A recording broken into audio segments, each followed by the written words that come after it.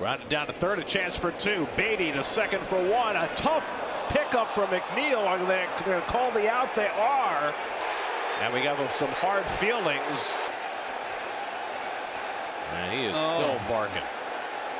All right, so we get some fireworks here between the Brewers and the Mets. We have a bench clearing. Well, I can't call it a brawl because there were no punches thrown, but the benches cleared. Let's talk about the situation. I want your opinion in the comments section below. So, three to one Brewers, top of the eighth, man on first, one out. We have a ground ball that's going to be hit here to third base. Third baseman's going to field that throw to second, and McNeil is going to get taken out here by Hoskins. You can see McNeil visibly frustrated, yelling down at Hoskins. So the benches end up clearing. You can see here McNeil looking towards Hoskins. He's going to drop an FU right there.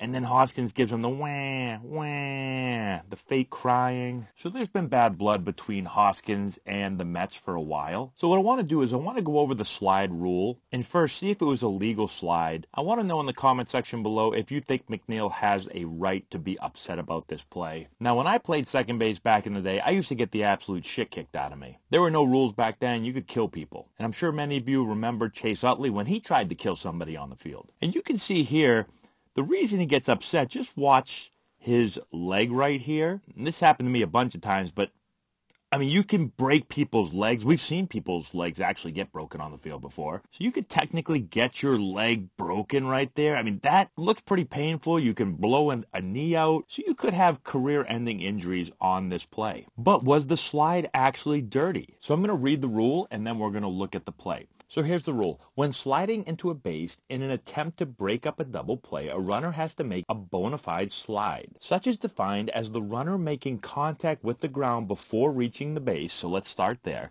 So does he make contact with the ground before reaching the base? Yes, right there. He makes contact before reaching. Being able to reach the base with a hand or foot. So you can see here, his foot is looks like it's barely touching, but I mean, he's sliding into the bag. He's able to touch with both his hand and his foot, being able to remain on the base at the completion of the slide. So as he slides, he's on top of the base, and we get a little better look at that right here. You can see that he's holding onto the bag right there, so he stays in contact with the base the entire time and not changing his path for the purpose of initiating contact with the fielder. So you can see he's sliding straight in.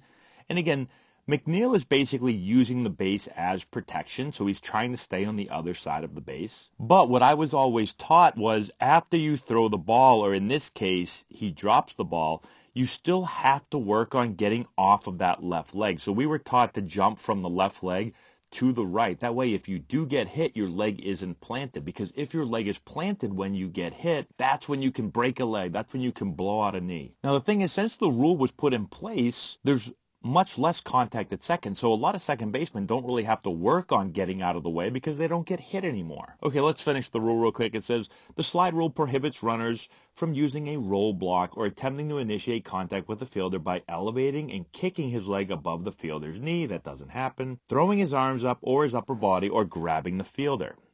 And I wouldn't say any of that happened either. When a violation of the slide rule occurs, the offending runner and the batter runner will be called out. Okay, so I have it down as a clean slide. What do you think? And do you think McNeil should be this mad at the play? And again, if you're a little bit older, it's crazy to think of the ways that runners used to go into the base. I mean, they used to be able to go in and literally kill people. And I was a second baseman at the major league level and for a long period of my career, and that is the most dangerous position when turning double plays because a lot of times you can't see what's going to happen to you because you're looking this way and here comes the runner from over here. And so again, we used to practice all the time getting up off of that left leg. You can't keep the left leg there. So you're going to put your left foot on the bag.